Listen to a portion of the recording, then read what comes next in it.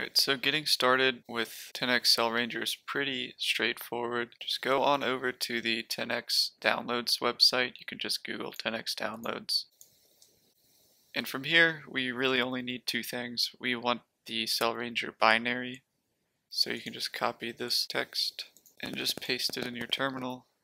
And then once that's done, just grab the reference that you need. I have human data, so I want the human reference. If your dataset is from mice, you would pick up the mouse reference dataset. If it's some other organism, you would have to build your own custom 10x reference, which I might cover in a future video. But for now, I'm just gonna copy this and paste it in the terminal. Once that's done, we need to unzip these. So just run a tar xf and then again on the reference and this might take a minute or two because it's a pretty big file. And then let's just free up some space. Alright, so now we have everything to actually run Cell Ranger. We have the binary, the reference, and our sample FASTQs. So let me just show you what the sample FASTQs should look like. The format of these FASTQ file names actually makes a difference and if they're not set up correctly, Cell Ranger will give you an error. So basically, you have your sample ID here, the sample number, and then this nomenclature. Well, this is an index file, so you don't actually need those. We want an R1 and an R2 file. This sample name here can be anything. This doesn't matter.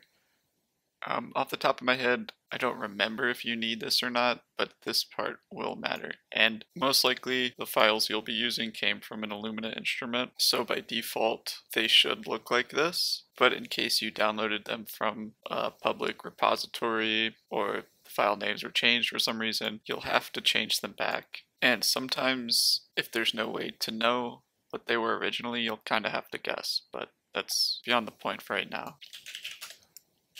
Okay, so the good thing about the new version of Cell Ranger is that it's a binary, so you don't actually have to install anything. You can just download it anywhere and run it. And if you look inside the directory, here's the path to the actual binary. So we just have to point to this. So Cell Ranger, Cell Ranger, and then we're going to use the count function. Then we want to give the sample an ID. So we'll just call it tutorial sample. It can be anything you want it to be. And then we need to point to the transcriptome, which is the ref data directory. And then we need to point to the FASTQs, which is just the directory containing the FASTQs. And then we only have one sample. And then this part is important, the expect cells. So you need to know the number of cells that they aimed for when they did the wet lab experiment.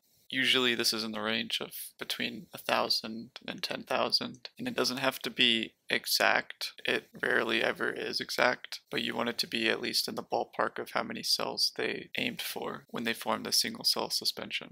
In this case, we aimed for 10,000. Now we can set local cores I'm going to use 20 because my computer has over 20 CPU threads.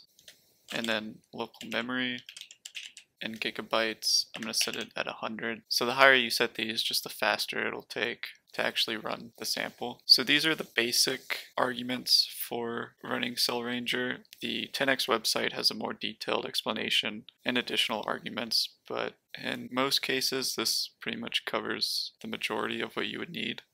And even with 20 threads and 100 gigabytes of RAM, it'll probably still take it at least an hour to two hours per sample.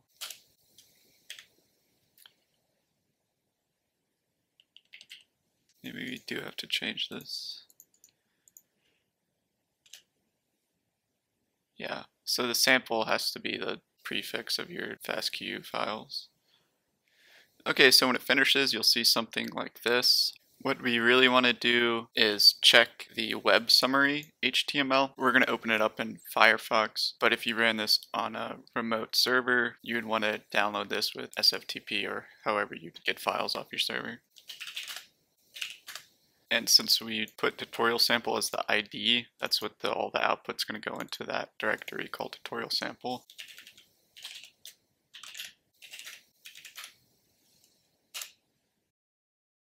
So this looks really good. Like I said earlier, you never get your actual number of expected cells unless you get a little lucky. You did a really good job counting. This is a good number of median genes per cell. You want above a thousand, but I've seen some samples all the way down at like 500. But usually anything above a thousand means your samples turned out all right. And if you had happened to use the wrong reference, it would give you a warning saying you had a low number of reads mapped to the genome. So it's really good to check this. I've made mistakes in the past where I accidentally used the wrong reference. And then I noticed here,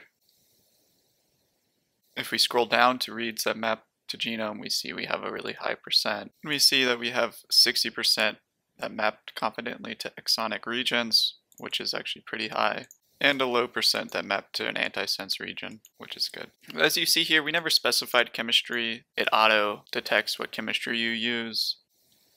And finally, I did include the analysis in the pipeline. It doesn't add much time, but we will be doing our own downstream analysis. But if you want to check as just like a QC measure, we see different clusters here. You usually don't want to do in vitro samples for single cell sequencing, but for this project in particular, we were interested in differentiating between infected and non-infected cells with Zika virus. So we would need single cell sequencing to do that. You couldn't just do bulk RNA-seq. But since it was just an in vitro culture of one cell type, you see that we really just get one big cluster. But if you had a tissue, you'd expect multiple clusters here it looks like it turned out pretty well. Next, I'll go over in a little more detail the outputs of Cell Ranger, and eventually we'll get to some downstream analysis.